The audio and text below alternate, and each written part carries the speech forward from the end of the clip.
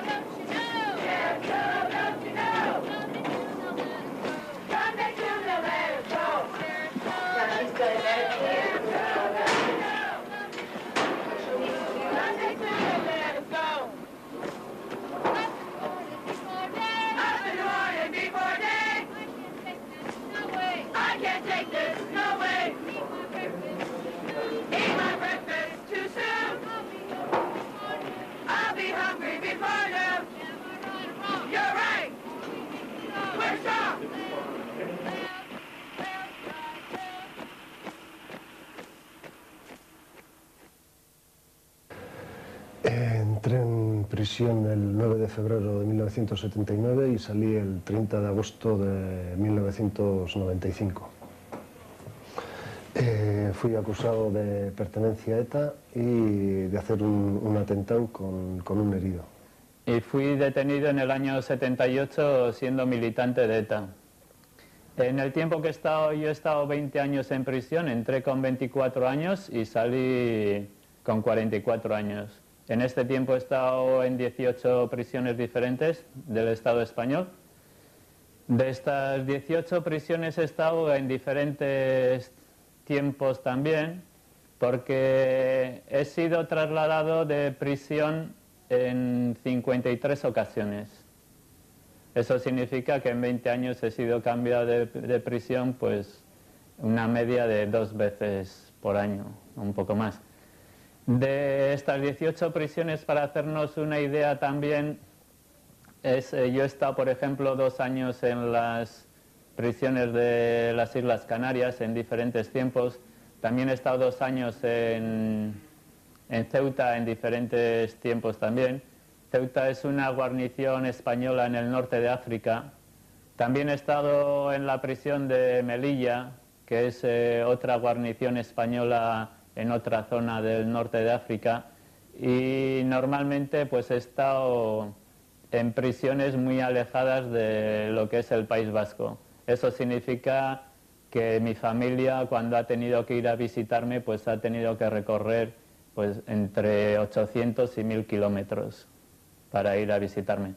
He estado en prisión desde 1982 hasta 1900, no, hasta el 2000, mm, agosto del 2000. Han sido 18 años y medio cumpliendo una condena a- por eh, ser miembro de ETA, activista de la organización ETA. Il periodo sono stato la prima volta un anno e mezzo, poi due anni e poi otto anni. Allora, io sono, praticamente sono stato in carcere circa sei anni. La prima volta sono stato arrestato nel 78. I was arrested um, in 1990, or 1983 for the first time. And I was caught with a, a large car bomb, myself and two other RA volunteers. I was sentenced to 14 years imprisonment. And after about one year on remand awaiting trial, I ended up in the H blocks of Long Longcash where I spent seven years before being released again in January 1981. I rejoined the IRA on release um, and returned to active service with the IRA.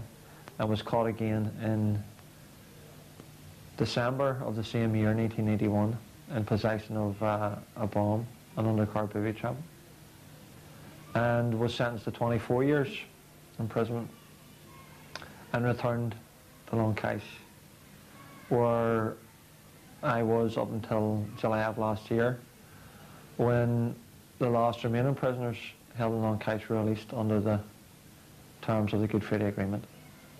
Ja, ich bin 1976, äh, ja, 1976 verhaftet worden.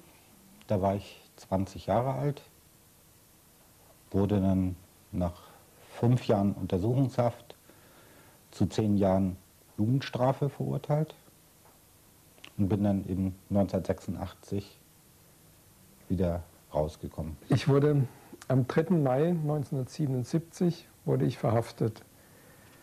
Und bei der Verhaftung, es war äh, eine Auseinandersetzung mit der Polizei. Und bei dieser Auseinandersetzung, das heißt, ich habe versucht wegzukommen, also nicht verhaftet zu werden. Ich habe die Waffe gezogen und es war äh, eine Auseinandersetzung zwischen der Polizei und mir und ich wurde schwer verletzt. Schwer verletzt heißt, ich wurde durch einen Schuss in den Kopf lebensgefährlich verletzt. Es war ein Schuss, der von hinten im Kopf ging und äh, sich dort in viele Teile noch zerlegt hat. Also ein Geschoss, das die Polizei offiziell gar nicht hat, ein dumm-dumm-Geschoss. Ich konnte ja von Anfang an konnte ich auch erstmal nicht mehr sprechen, nicht mehr lesen, nicht mehr schreiben. Also ich bin ja nach meiner Verletzung war ich erstmal in dem Zustand wie neu zur Welt gekommen, wie, wie ein Kind mit 22 wieder wie neu zur Welt gekommen, ohne irgendwas zu können und wissen. Festgenommen wurde er vor genau 18 Jahren jetzt. Weswegen ihm wurde vorgeworfen ähm, Mitgliedschaft in der RAF und damit wurde ihm alles äh, angehängt, was im Zusammenhang mit der RAF äh, vorgefallen ist. Und seine jetzige Situation nach 18 Jahren, es ist immer noch nicht normal, immer noch nicht normal Vollzug. Es sind immer noch einige, ganze Reihe von, von Repressionen, denen er ausgesetzt ist, ja. Ich habe insgesamt 22,5 Jahre war ich gefangen, also von 72 bis Ende 1994 bin ich rausgekommen, habe ununterbrochen gesessen. Und ich war nie mit äh, anderen sozialen Gefangenen zusammen, sondern immer abgetrennt, entweder ganz allein oder was es in Deutschland gibt, Kleingruppenisolation. Es ist eine Variation von Isolation, indem man äh, kleine Gruppen von Genossen zusammenlegt, sie total in einen Flügel sperrt, wo niemand sonst ist, in der Hoffnung oder unter dem Kalkül, dass die, Gefang also die, dass die Genossen, die da zusammen sind, sich gegenseitig irgendwie äh, zerstören. Und die letzten 14 Jahre meiner Gefangenschaft war ich in Kleingruppenisolation. Also nicht ganz allein, sondern wir waren die meiste Zeit zu dritt in einem abgetrennten Gebäudeteil. Wir haben nichts anderes gehört, wir haben nur uns gesehen. Wir haben nie andere Gefangene gesehen. Wir haben auf einem Hof, Hofgang gehabt, wo nur wir waren und die Wächter mit Maschinenpistolen. Also wir hatten nur uns drei. Das waren die letzten Il y a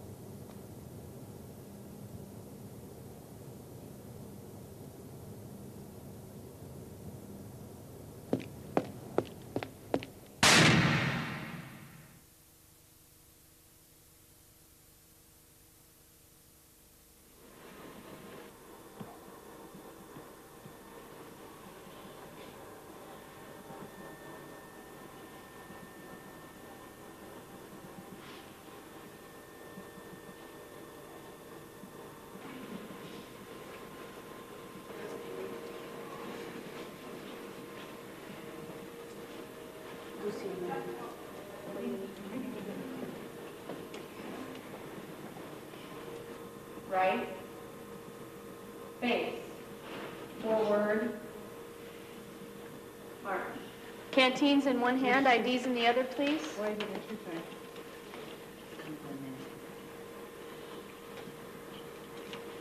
Everybody's canteens are full? Yes, ma'am. Yes, ma'am.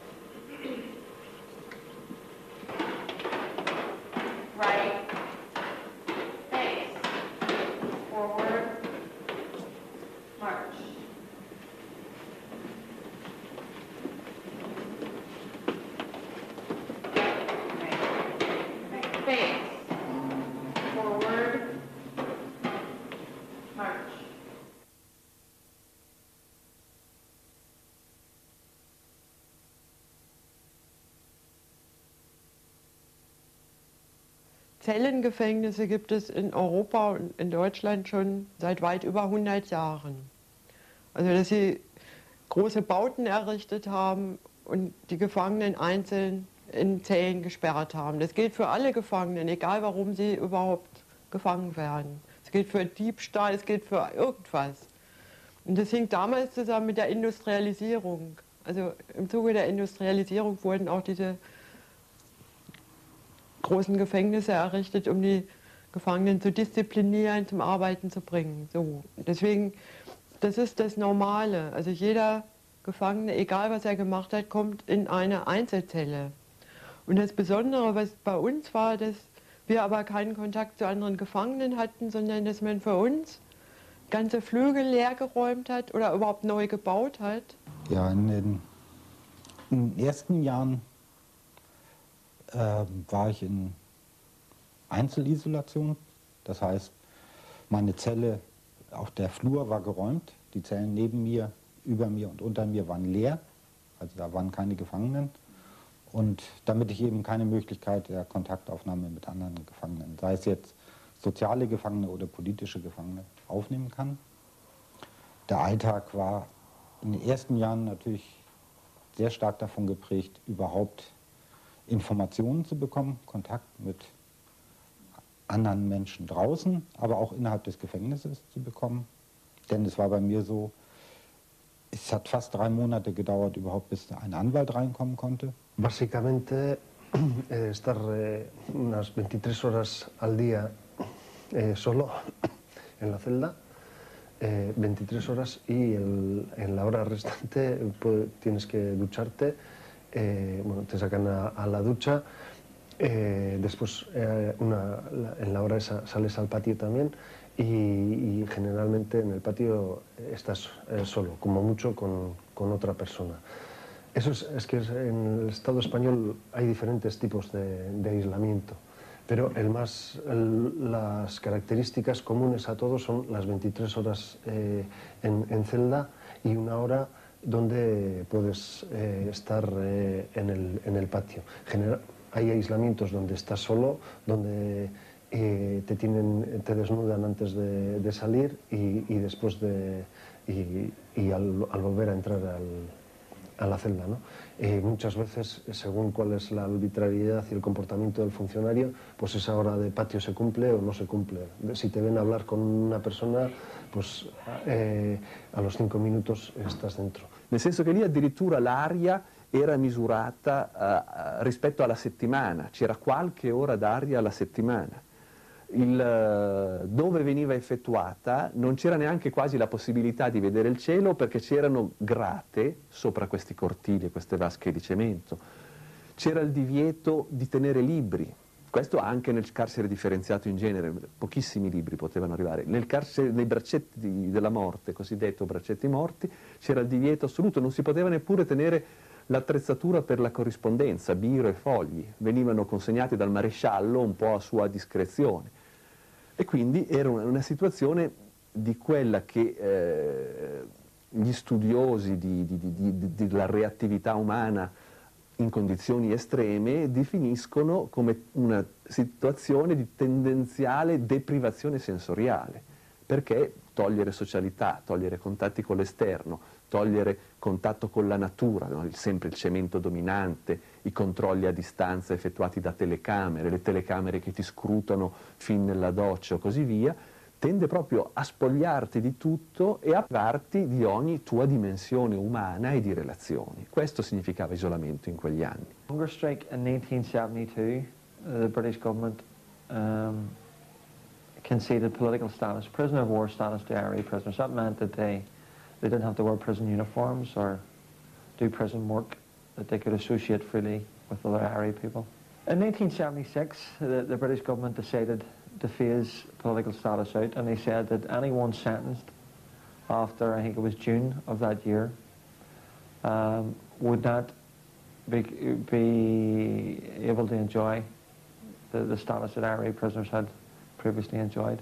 And so what happened was that a protest began, that as people were sentenced and sent to um, the H blocks, and they had just built the H blocks. The H blocks were, were, were new at that time. When the protest began, because the men had uh, would would not wear the prison uniform, as I said, they had to stand in the in the cells naked with just a blanket on their shoulders. Because they wouldn't wear their prison uniform, that meant that they could not go out and exercise. So between 1876 and 1881, effectively, they were in solitary confinement with no exercise. Kein Laut zu hören war.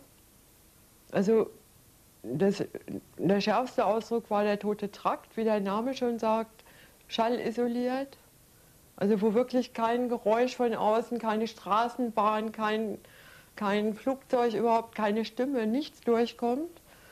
Wo alles weiß gestrichen ist, wo auch nachts das Licht brennt zur Kontrolle, also wo dann nachts immer so in Abständen man die Wärter kommen und durch den Spion gucken. Also die Türen sind zu und in der Tür ist ein Loch, was aber mit einem Spion versehen ist, kein offenes Loch, sondern ein Glas, wo man rein, aber nicht rausgucken kann.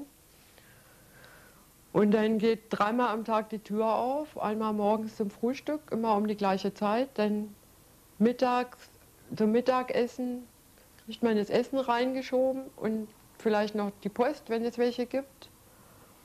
Und dann ist irgendwann am Tag Hofgang und abends kriegt man das Abendessen und die Tür ist zu und es ist still und es ist Schluss. Man ist alleine, man sieht niemanden, man hört niemanden über Jahre.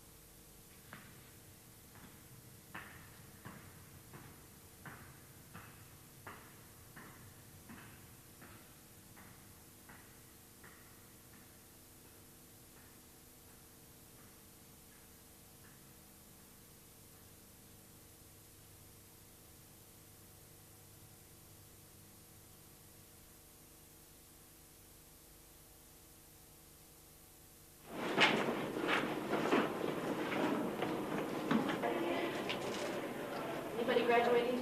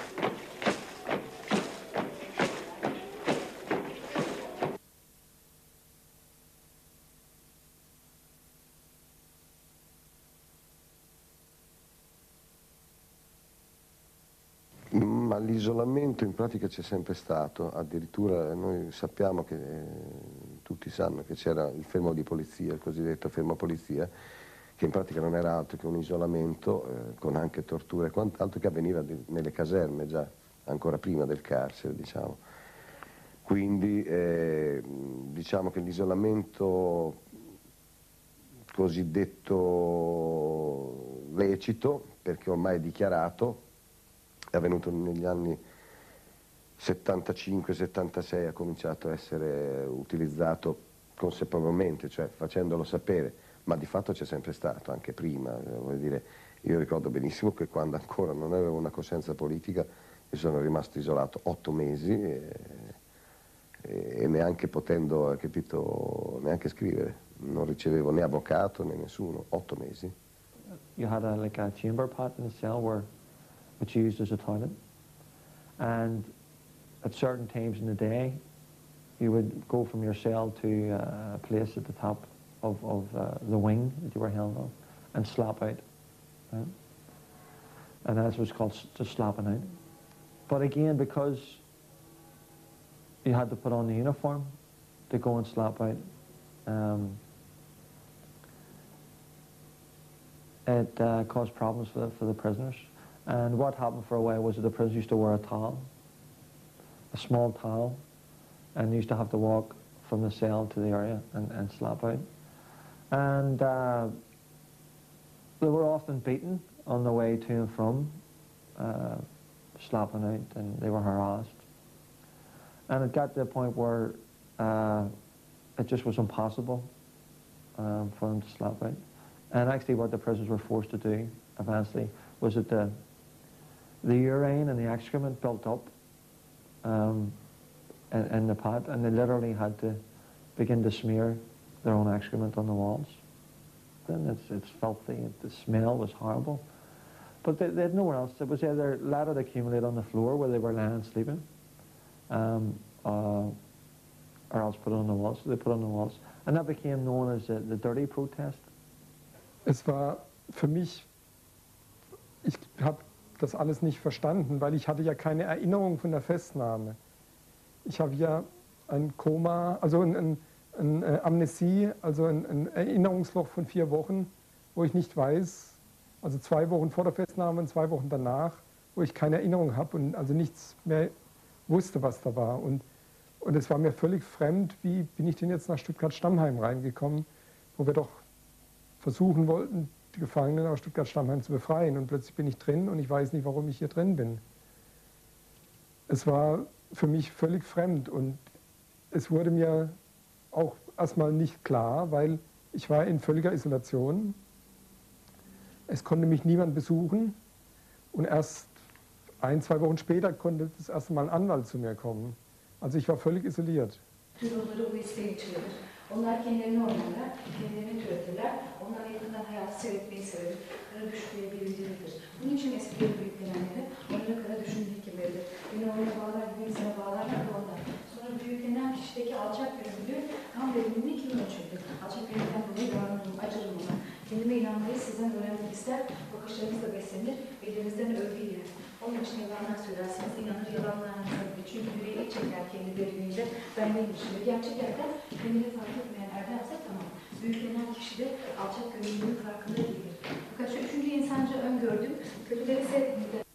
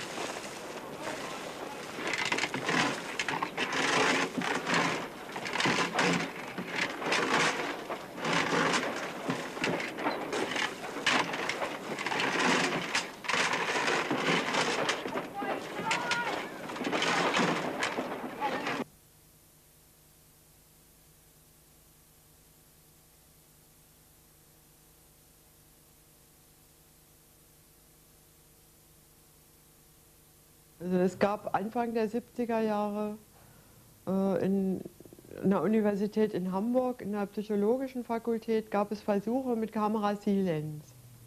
Kamera Silens ist ein stiller Raum, abgeschlossener Raum, wo keine Geräusche, kein Licht, nichts Natürliches, kein Tag und Nacht, sondern wirklich eine stille Kammer.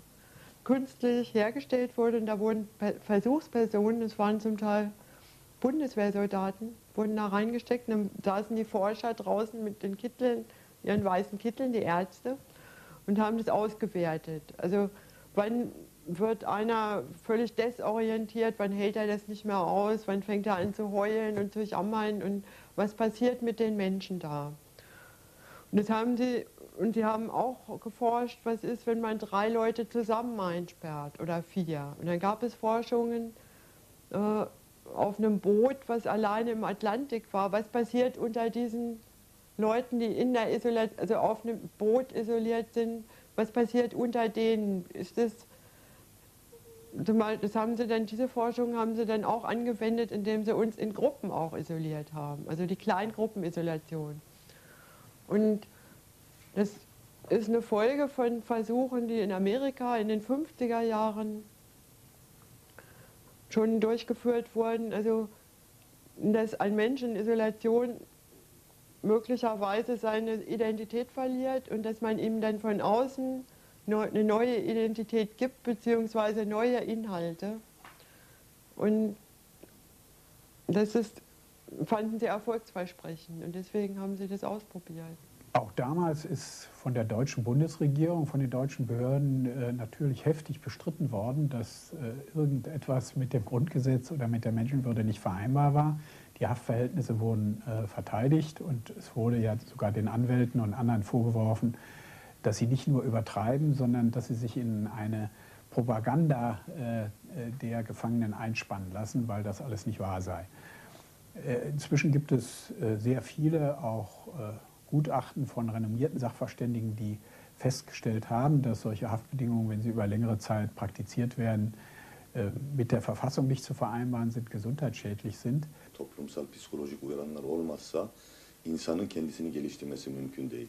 Bir süre sonra normal e, ruhsal mekanizmaların işlemesi yavaş yavaş aksayacaktır ve yavaş yavaş patolojik me mekanizmalar devreye girecektir. O nedenle belki çok güçlü kişilikler de e, uzun süre problem ortaya çıkmayabilir. Ama ortalama insan insanlarda e, yalnızlık neticesinde çok ciddi psikiyatrik problemler olacaktır. Ja, zum Beispiel, dass man sich vorstellt, man, man kann es sich kaum vorstellen, dass man zum Beispiel wochenlang mit niemandem reden kann. schon geschweige denn ihn anfassen oder ihn umarmen oder irgend sowas. Die ganzen Emotionen werden ja, werden ja abgewürgt. Ja? Man soll ja eigentlich nur noch ein, ein lebendes, äh, lebender Roboter sein, der gut isst. Vielleicht kriegt die bekamen sogar satt zu essen, nicht wahr? Und sonst aber auch nichts.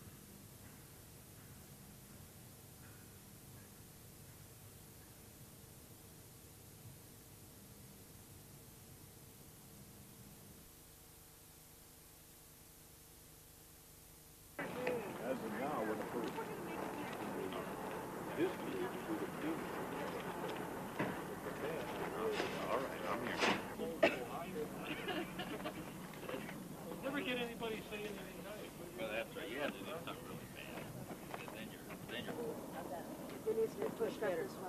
Okay, we need to put it back. Okay. Is that good? they live in the tents. See, we have uh, 1,400 people convicted in the tents, and they're part of the tent program. When they do something wrong, we put them in a isolation. The only way they can ever get back to the tents is work the uh, chain gang. Uh-huh. And they all volunteer. I have a waiting list. Because they want to get outside. Uh, They want to get on the chain gang. They want to go back to the hot tents. And the alternative is the lockdown as well? That's the... The alternative is they go to the lockdown. What's the lockdown? Uh, that's where they have three or four in one little cell block because they did something wrong while they are doing their time. And uh, the only way I let them get back to the tents, they volunteer to work the chain gang. And then they can do their 30 days. I give them a nice diploma, graduate them as a uh, last chance chain gang, and then they go back to the tents. So they're doing their 30-day tour of duty and I decided to treat them equally and bury the dead, the deceased, just like the men.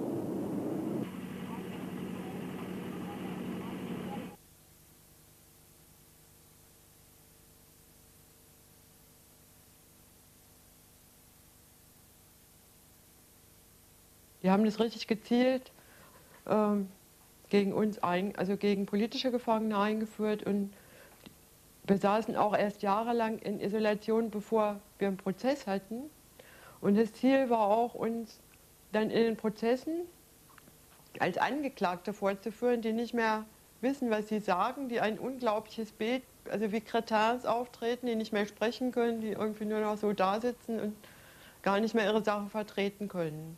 Also die Prozesse waren immer Jahre nach der Verhaftung. Und das war schon auch neu und ungewöhnlich.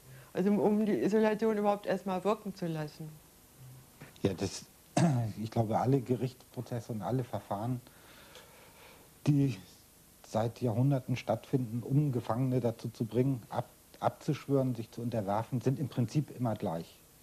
Das, das hängt einfach zusammen. Da gibt es einen Tyrannen oder einen König oder ein, eine Regierung, eine Militärdiktatur, die natürlich will, dass die Leute leise sind, dass sie alles mitmachen, dass sie keinen Widerstand leisten.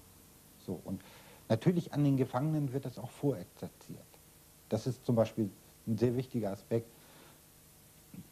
welche Bedeutung zum Beispiel in Deutschland die Prozesse hatten, die Gerichtsverfahren. Weil natürlich das Ziel war, eigentlich dort die gebrochenen Gefangenen als gebrochene Kämpfer und Kämpferinnen vorzuführen, damit sie abschwören und sagen, es war falsch. Damit das Volk hört, selbst diejenigen, die aufgestanden sind, die zur Waffe gegriffen haben, selbst die sagen, es ist sinnlos, was zu machen. Das ist das Ziel. So, ne? und so gibt es eine, natürlich eine sehr starke Kommunikation zwischen dem, was der Staat und die Machthaber beabsichtigen und was beim Volk ankommen soll. Und das ist, glaube ich, von der Methode her, im Prinzip, das ist sozusagen von der, in Europa von der Inquisition bis, bis heute, ist im Prinzip immer das Gleiche. So, ne?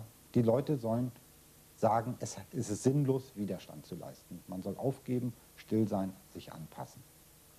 de muy, muy de cerca porque era un compañero mío de, de mi vida de joven y de, de la militancia en la organización ETA. Pues como yo su retolaza, que tuvo un cáncer, tuvo un cáncer que le fue diagnosticado después de dos años de estar solicitando asistencia médica por un problema en la espalda que los médicos de la prisión le decían que, que no era nada grave y que no tenía nada que ver. Fue diagnosticado de cáncer y los mismos médicos le dijeron que si quería obtener una asistencia médica adecuada debía firmar un papel en el que se declaraba contrario a la organización ETA y se declaraba contrario a la utilización de la lucha armada. When the prisoners decided that uh, the only course left open to them was to embark on a hunger strike. We, my six comrades, are prepared to go through this and we are prepared to die to prove that we are special prisoners and our five basic demands are just. And the officer commanding the IRA prisoners in Long-Case at that time, Bobby Sands, decided to lead the hunger strike. And that hunger strike began 20 years ago this year on the 1st of March and resulted in the deaths of 10 prisoners. You know, in 1880, uh, the British government was telling the world that my brother was a criminal, um, that uh, he wasn't a political prisoner. And yet, you know, 20 years later, 15, 16 years later, um, uh, as a prisoner in the same in the same jail, possibly even in the same cell. I, you know, there's not many cells, so then they moved them about and they moved us all But It could have been it could have been in my cell. That I was having a meeting with the, uh, British Secretary of State, and she and I were according each other the, the utmost respect, um, talking about the peace process in Ireland. So I, I think that uh, it was it was it was quite a strange experience, but uh, I think it was very in, indicative of how things had changed. You know, that the British government had uh, always knew we were political prisoners, but had deliberately tried to break our spirit by treating us as criminals, by telling the world that we were criminals. And I think because we resisted, and it was a long, hard battle, but I think we won that battle in the end.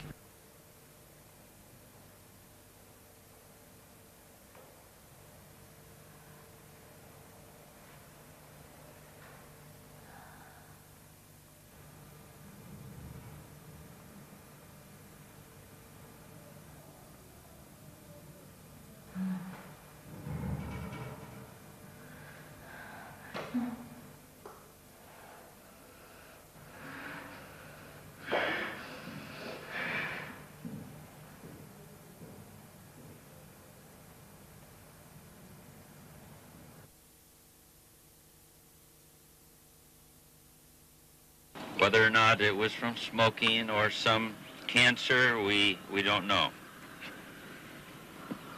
But as we uh, think about this life, I want us to uh, perhaps focus a little more spiritually.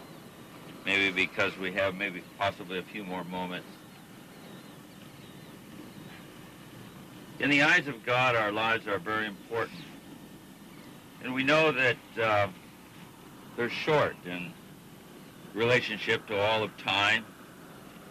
And so we need to live our lives with a sense of equality. And we need to focus not on so much that's around us in our environment, but on things that are above and spiritual things. They had all of their uh, privileges, and they were smoking or fighting or didn't work when they were supposed to work. So they got rolled up into lockdown, which is 23-hour lockdown. Or That's lockdown. isolation? Right, it's type of isolation. There's four girls to a four by eight cell. It's very tiny. And they're locked down for 23 hours a day. They get one hour out to shower, um, a little bit of time out of their room. And uh, they volunteer to come to the chain gang. They complete 30 days and they receive their privileges back again. So that's the reason for the chain gang. What, what were the privileges then? Privileges would be commissary, um, ordering from the store, candy, hygiene items. They're always allowed to order hygiene items, but the candy is what they like. Uh, visitation, any kind of visitation. Just the fact of living in the tents outside, that's a privilege. They like that a lot more than living inside. Uh, and those are the type of things that they lose.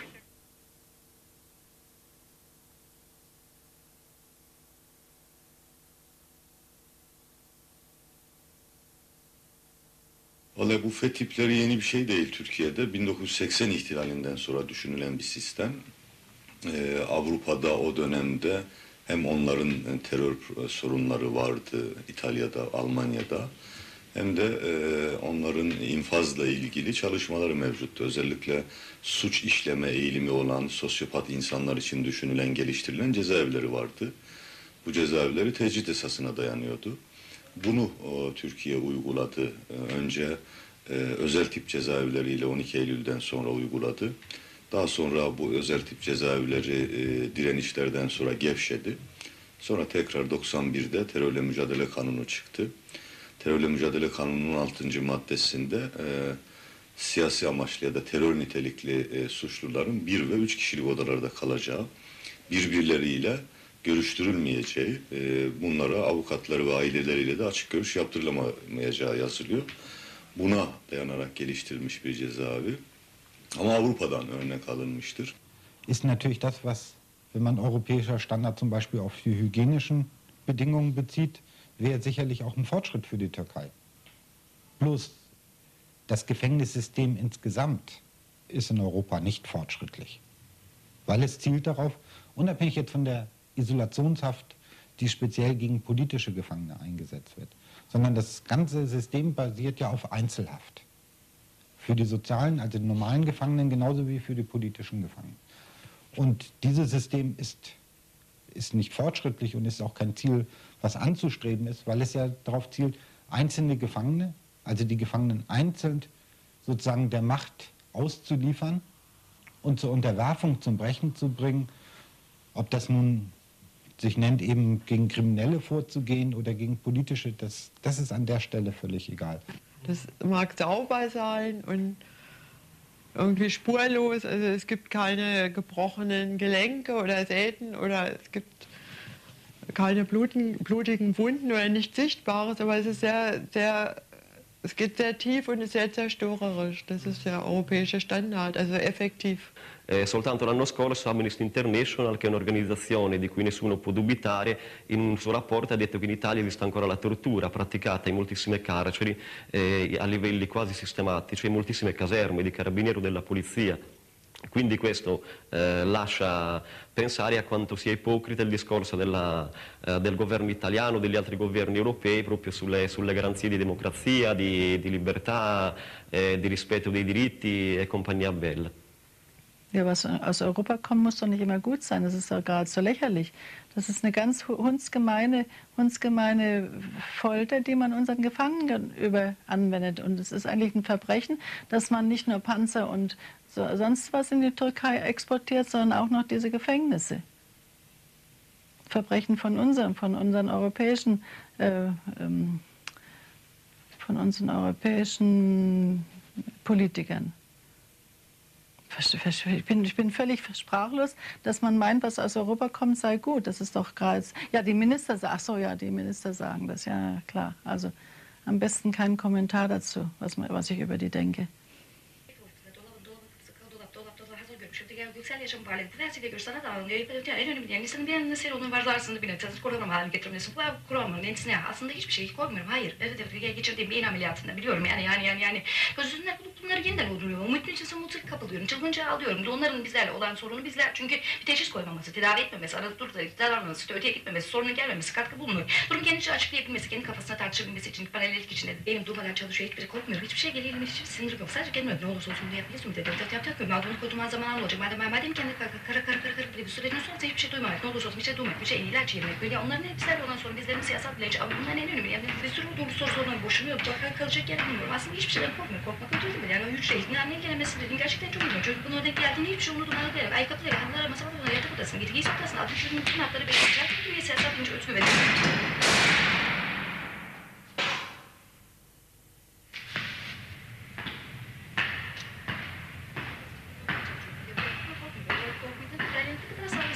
Proszę cię. Zaman bundan kurtulmaz zamandan alınacağını. Bundan bizler olan sorun bizlerin üstüne çok değişik olma tedavi etme. Arada sırada davranmasını öteki deme sorunun gelmesine katkıda bulunmuyor. Üstelik psikolojide de doğal yaşam. ve Önemsiz değil. Hiçbir şey, hiçbir de hiçliği, kalk önüm. Felsefe göre sanat bir çekim yok. Şu öteki göksel yaşam faaliyeti. Bu felsefe göre sanat alanında en önemli yani insanın bir yanında seronun var zarfını bir neticesi kuramam haline getirmesi. Bu kuramam neticesine aslında hiçbir şey koymuyorum. Hayır. Evet evet geçirdiğim beyin ameliyatında biliyorum. Yani yani yani yani gözünde bulup bunları yeniden uyduruyorum. Umutun için mutluluk kapılıyorum. Çılgınca ağlıyorum. Onların bizlerle olan sorunu bizler. Çünkü bir teşhis koymaması, tedavi etmemesi, dur da davranması, öteye gitmemesi, sorunun gelmemesi, katkı bulmuyor. Durum kendince açıklayabilmesi, kendi kafasına tartışabilmesi için.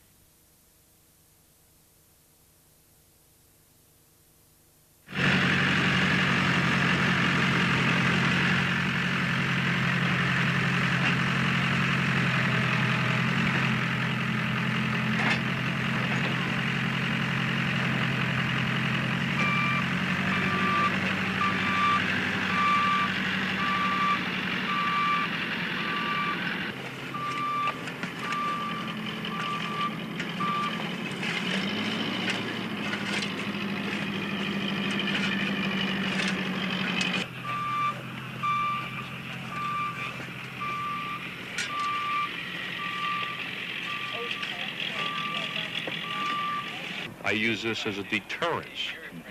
They're usually on the streets where everybody can see them. Right. We only do this once a week, but they, I have them right where everybody can see them.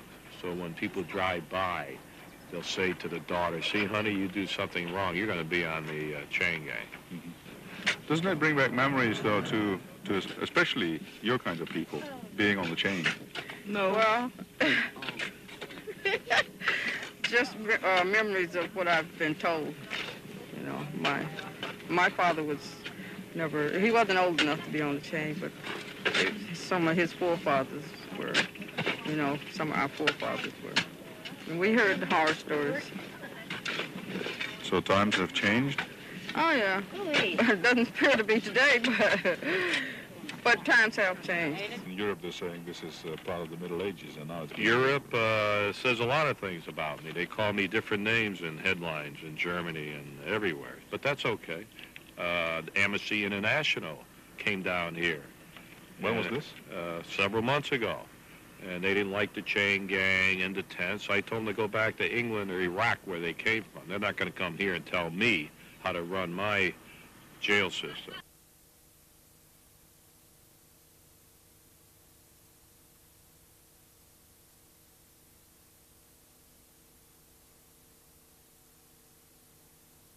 Natürlich, man, viel Kommunikation findet mit einem selber statt, ist im Gedanken. Und das ist dann manchmal auffällig, denn man denkt, man hat mit Leuten das und das besprochen oder hätte ihnen das gesagt und die sagen, nee, das hast du mir nie gesagt, aber im eigenen Kopf hast du ihnen das gesagt. Das passiert manchmal auch nach Jahren noch. verliert, unter diesen Bedingungen verliert man zum Beispiel auch die Sprache, weil man ja keine Interaktion hat. Man kann mit niemand sprechen. Man spricht überhaupt nicht mehr. Gut, ich musste, ich hatte sie eh verloren gehabt durch die Verletzung, aber dadurch konnte ich sie auch nicht wieder finden, weil ich ja keine Interaktion hatte, weil ich keinen Kontakt erstmal hatte, mit dem ich reden konnte. Und mit der Wand oder einem leeren Raum, mit wem soll ich reden? Also man verliert die Sprache und man verliert auch die, äh, die Orientierung. Man, äh, man kann nicht mehr trennen zwischen Träumen und Realität. Und also es ist eine ganz schwierige Situation.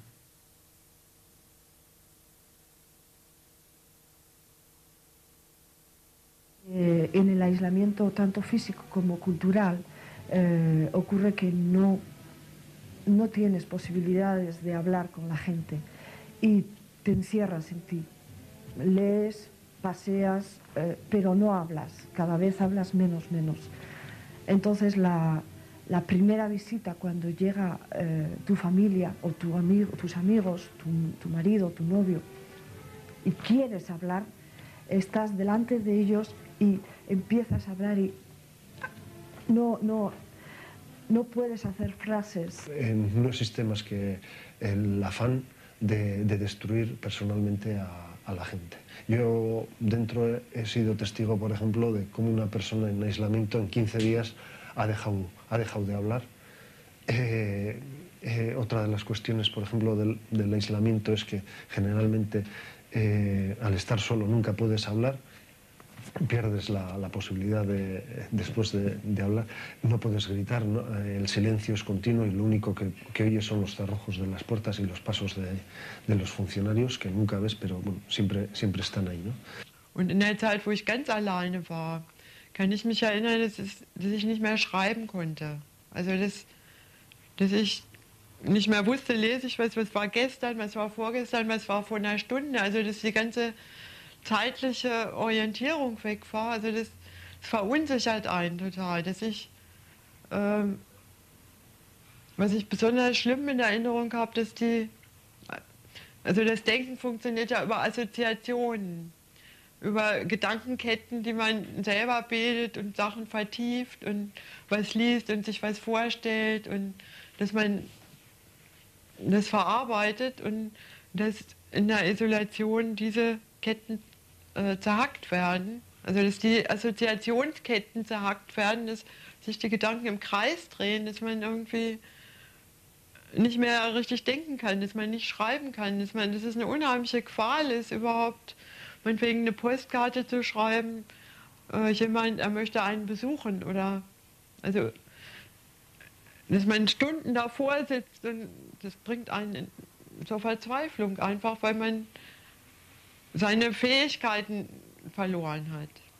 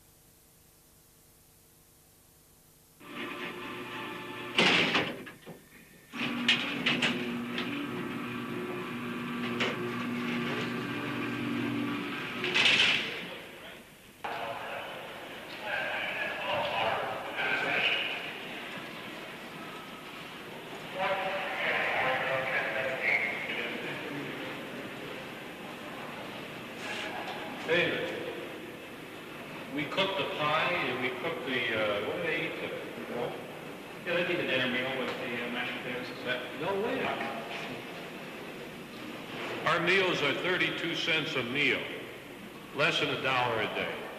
Costs more to feed that dog that you just saw with the camera, the paparazzis. Costs a dollar ten cents a day for the dog. So what do the dogs eat? They eat good food, good dog, good meat. Yeah, an authorized area should be open.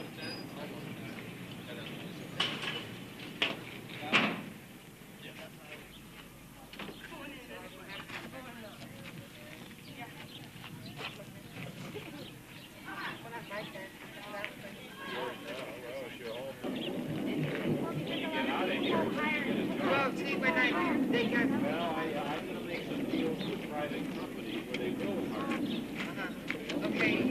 It's been six years almost these tents have been up. Why did I put tents up? We started with the men, with the men, because it's cheap. It's $100,000 to build this hotel. $100,000.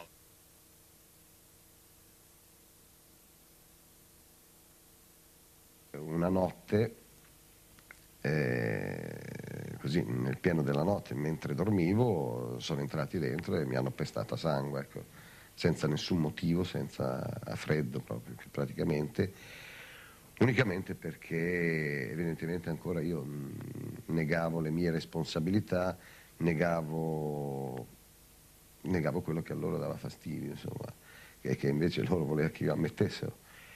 Questa cosa qui ha portato anche a queste azioni qui, quindi tu lo vivi quotidianamente e anche di notte mentre dormi, hai sempre questa tensione che ti tiene eh, comunque sveglio o comunque diciamo nel dormiveglia perché hai la paura addosso, insomma, è una paura che ce l'hai continuamente e sei sempre in lotta con questa paura. En realidad, cuando estás en una prisión y te han dado una, los funcionarios sin ningún motivo, te han dado una paliza, eh, al estar solo en la celda estás pensando, estás temiendo de que te vuelvan a volver, que vuelvan los funcionarios y te vayan a dar otra paliza. Entonces los ruidos te crean una situación de inestabilidad. Tú racionalmente sabes de que una paliza, pues eh, lo que supone, pues te dan unos golpes, te, te hacen daño, eh, pero sobre todo no es el daño físico. No es el daño porque sabes, bueno, te rompen un brazo, pero más o menos sabes que eso eh, se arregla y... Pero lo que más te afecta es psicológicamente. Man verliert sehr viel an Emotionen und vor allem auch deshalb, weil man überlegt, dass die, die dich überwachen, die sollen nicht deine Emotionen mitkriegen. Also du willst es ihnen nicht zeigen, dass du Emotionen hast, weil jede Emotion, die sie von dir mitkriegen, nutzen sie gegen dich. Das nutzen sie wieder als Schwäche gegen dich und benutzen sie auch gegen dich. Ee, Bir genç e, ben Fetipi cezaevini ziyaret etmeden 15 gün evvel cezaevine girmişti. 4-5 gün başka cezaevinde kaldıktan sonra Sincan'a getirilmişti. Kapısını açtık içeri girdik bir heyetle. Tek kişilik e, şeyde kalıyor. Çocuğun oryantasyonu bozuktu, yönelimi bozuktu. E, tanımadı, e, garip garip etrafına bakıyor. E, ben kendimi tanıttım, anlattım. Yine şey yapamadı. Bir daha burası cezaevi, işte gün bu. İşte ben filanım, bu cezaevi müdürü, bu savcı. Anlattıktan e, aşağı yukarı 10 dakika kendine gelemedi. Yani oryantasyonu bozuktu. Nerede olduğunu bilemiyordu. Daha sonra yine korkulu gözlerle e, sonra tekrar e, anlattık ve bir şikayeti var mı diye sordum. Yalnızdık. Ich kann Ihnen ein Beispiel nennen. Es war eine Frau im Kölner Haftanstalt über längere Zeit. Äh, Wir haben Veränderungen festgestellt. Ich habe die alle 14 Tage oder sowas besucht in der Haftanstalt. Und ich und andere Anwälte stellten dann fest, wenn wir abends, nachmittags äh, bis äh, 17 Uhr, bis nach 17 Uhr in der Haftanstalt blieben, dann war plötzlich äh, gegen 17 Uhr fing die Mandantin, mit der man an einem Tisch saß und sich unterhielt, äh, plötzlich an, am Körper zu zittern, konnte sich nicht mehr konzentrieren. Und wir haben uns lange überlegt, wir dachten, es ist irgendeine äh, Erkrankung, sie wurde dann untersucht. Und wir haben viel später dann erst erfahren, das ist dann auch von Ärzten festgestellt worden, dass das 17 Uhr genau der Zeitpunkt war, in dem die Wärter in der Haftanstalt auch noch aus ihrem Trakt verschwanden und ihr Körper reagierte wie eine Uhr auf diesen Zeitpunkt und zeigte ganz deutliche Ausfallerscheinungen.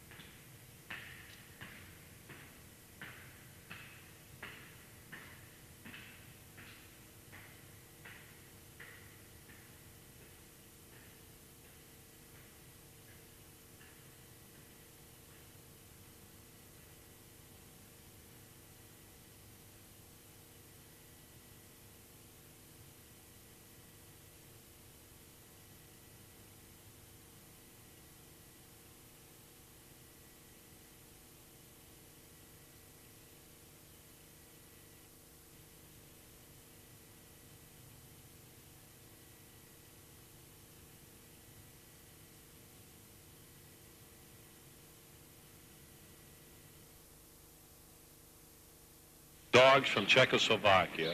Now they patrol the tents because we only have three officers guarding a thousand inmates. Feed that dog, right? About a dollar, a dollar and twenty cents to feed the dog, ninety cents a day to feed the inmates. You know that? You know it costs more to feed this dog than you guys? I know what you're trying to say. That's not cute, though. Why isn't it cute? I don't think it's cute to say that you feed, you feed Well, it's true. You, spend more money on a dog's food than Well, you what, spend on a what human should I lie? It's true. Well, you still get 3,000 calories. The dog doesn't get 3,000 calories. Yeah, I know. The You still get that- three meals a day. The only a thing day. apparent about the food around here is that we gained 50 um, extra pounds while we're in You did? Yeah. You gained, why? It's so good? Nope, because bread. Because all the bread you feed. Oh, nothing but bread. You bake bread, the bread, bread.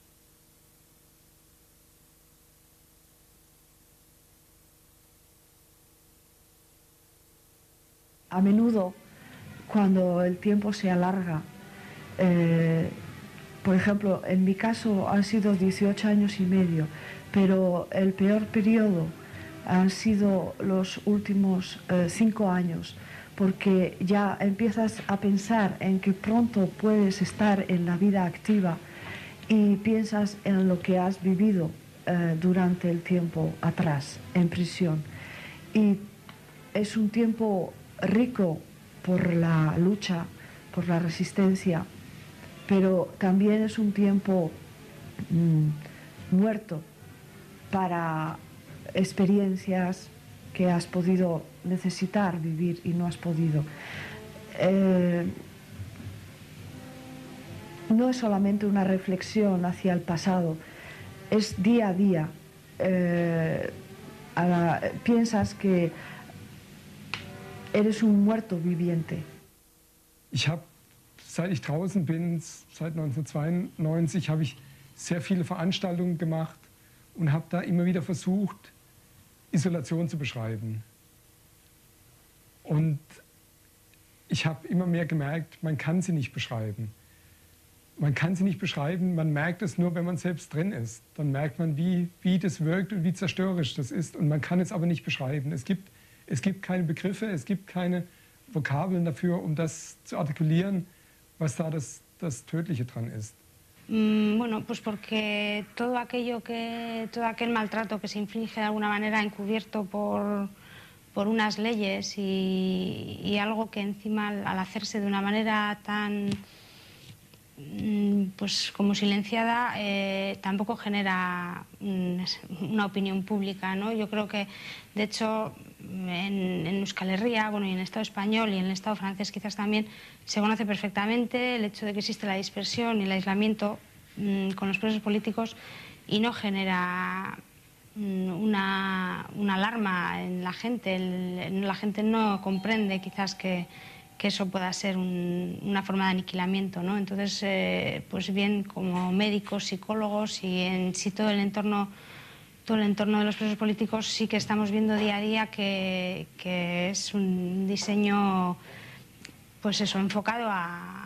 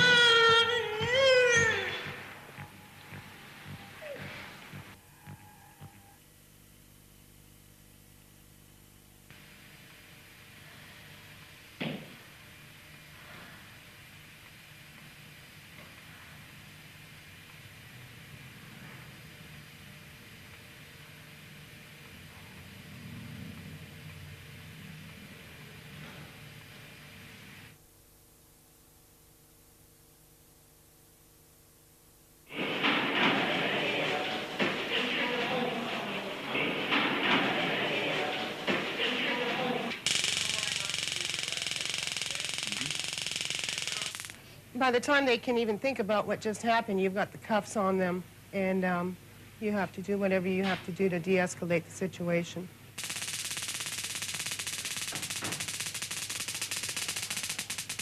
They put this on the inmate. If the inmate starts to go off on a judge, starts to jump over a table, attack a judge, all they have to do is hit the remote control, and when they hit the remote control, it sends a burst, 50,000 volts, into the inmate's back for seven seconds. Once it's been activated, it cannot be stopped. Ah,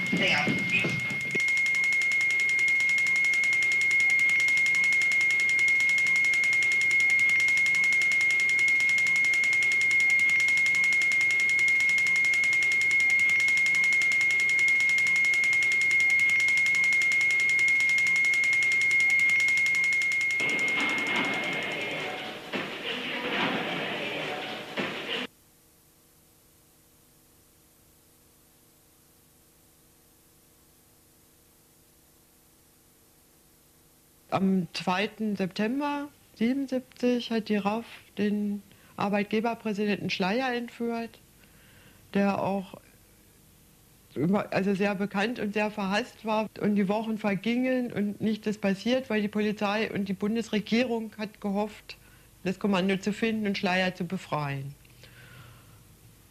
Und um dieser Situation ein Ende zu machen, hat ein palästinensisches Kommando eine deutsche Lufthansa-Maschine entführt.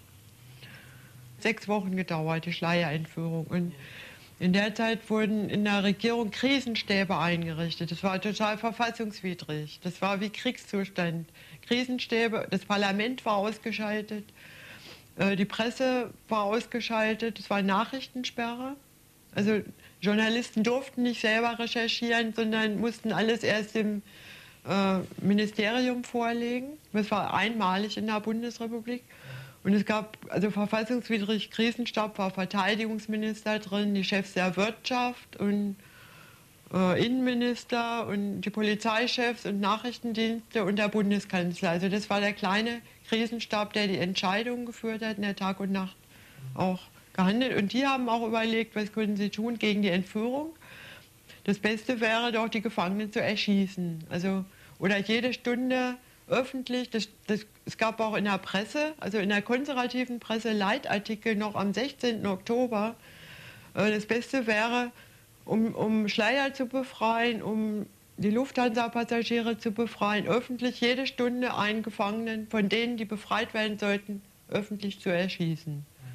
Äh, und das, ein, deutsche, ein deutsches Sondereinsatzkommando hat die Maschine gestürmt und die, die Lufthansa-Fluggäste befreit und das Kommando getötet, das palästinensische Kommando, und ist in derselben Nacht in Stammheim eingedrungen und hat Gudrun, Andreas und Jan ermordet und ich war schwer verletzt. Ich bin morgens, ich hatte mehrere Stiche in die Brust und bin bewusstlos gefunden worden und bin dann im Krankenhaus aufgewacht nach Tagen und habe gehört, die anderen sind tot. Also dann war ich als Einzige und, und da habe ich dann sofort, ich war total abgeschirmt, ich hatte nichts, war schwer verletzt, konnte nicht atmen und, und dass ich nicht tot war, das lag daran, dass das Messer an der Rippe irgendwie hängen geblieben ist. Also nicht tief genug ging, nur so tief und nicht so tief. Oder.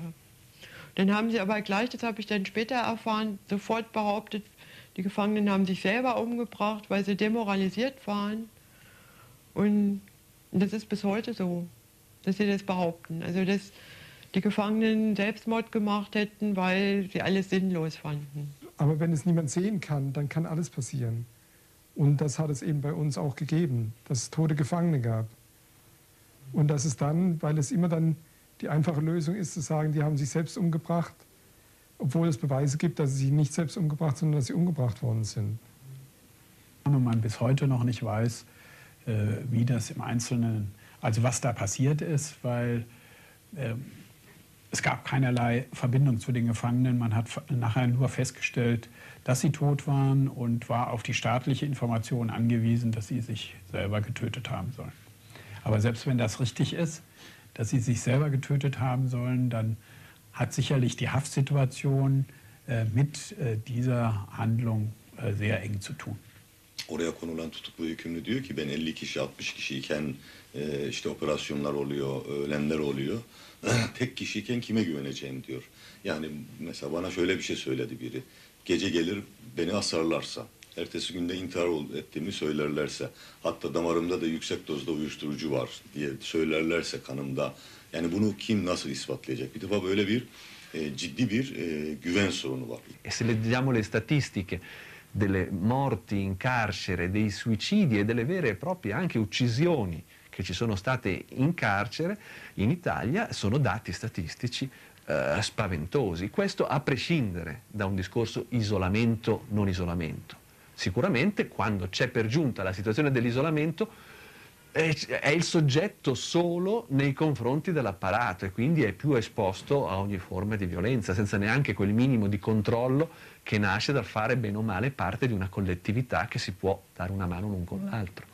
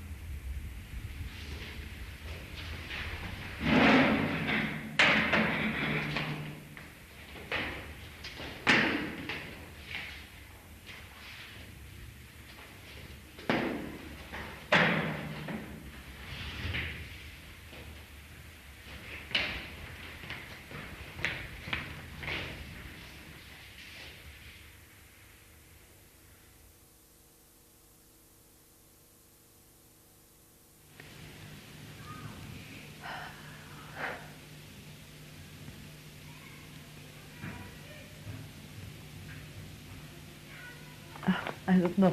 Eh, una palabra, una palabra.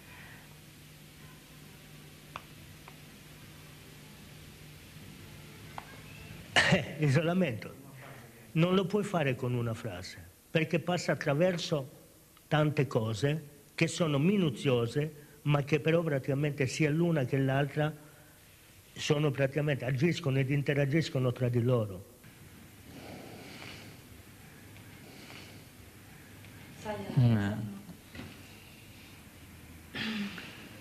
Heri- Bueno, el aislamiento es eh, la muerte eh, sensorial de una persona.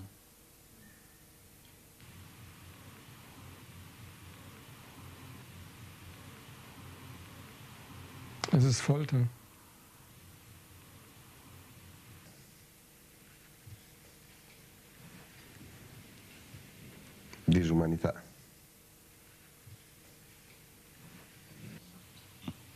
Ja, das, das geht ja nicht. Das geht sowieso nicht. Non puoi con una parola spiegare cos'è isolamento. Isolamento è tutto. Il fatto stesso praticamente di essere in carcere è un isolamento, ma questo isolamento non è che passa solo attraverso il fatto eh, che io sono in carcere, ma passa attraverso tutta una serie praticamente di cose e di azioni. Ad esempio, il fatto stesso è... ehm, Isolamento, lo, vabbè, l'ho detto anche prima, comunque, quello praticamente del contesto, quello praticamente della posta, quello praticamente dei pestaggi, praticamente isolato praticamente dagli altri. Cioè, questo qui è un, un isolamento non, non, non indifferente, ma l'isolamento è anche l'isolamento praticamente dal sole. Cioè, per esempio, facendoti un muro davanti praticamente due metri, alto sette metri, e dalle sbarre non riesce a vedere il sole. Anche questo è un isolamento, è isolamento diciamo da me e dal sole. Da me praticamente è dall'erba, da me praticamente da tutto. Isolamento, isolamento passa attraverso tutto. Cioè definire praticamente l'isolamento in due parole non è possibile. Cioè è una cosa complessa, tanto quanto complessa è il modello di società stesso che l'ha prodotto.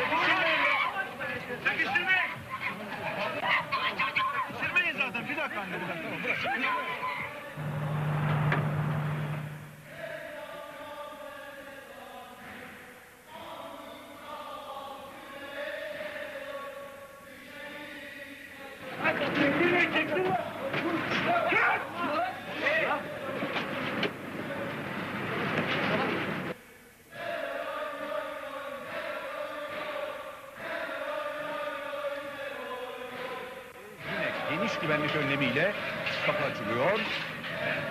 İçeriden dört kişi dikkatle dışarıya çıkıyor.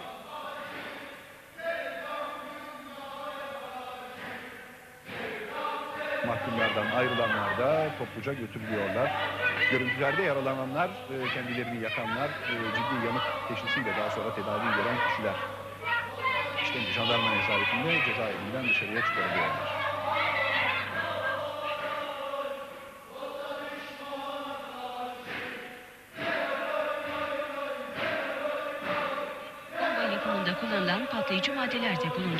Bu nedenle güvenlik güçleri bu bir tuzaklarına karşı son derece dikkatli davranıyor.